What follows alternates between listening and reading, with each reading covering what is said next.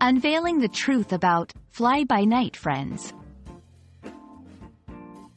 Hello everyone. Today, we're diving into an interesting English phrase that you might come across in conversations or readings. Fly-by-night friend.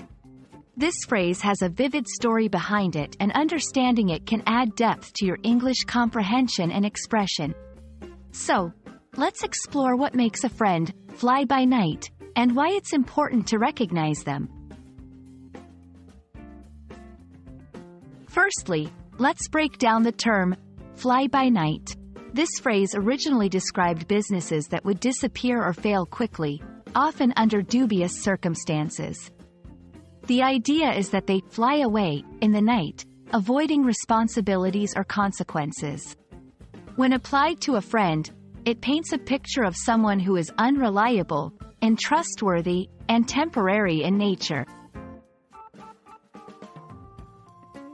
A fly-by-night friend is someone who seems to be a good friend when times are easy but disappears or becomes unavailable during challenging times.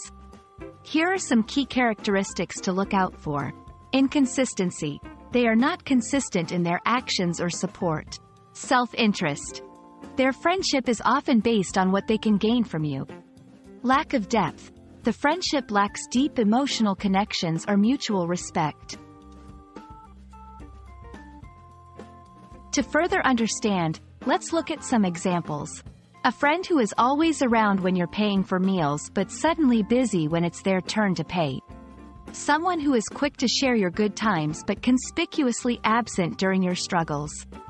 In literature or movies, these characters add complexity to stories, showcasing the highs and lows of human relationships. Identifying a fly-by-night friend is crucial for maintaining healthy relationships. Here's what you can do. Reflect on your friendships and their patterns. Communicate your feelings and expectations with those involved. Set boundaries to protect your emotional well-being. Understanding the concept of a fly-by-night friend helps us navigate our social circles more wisely and maintain more meaningful connections. Remember, true friendships are built on trust, consistency, and mutual support.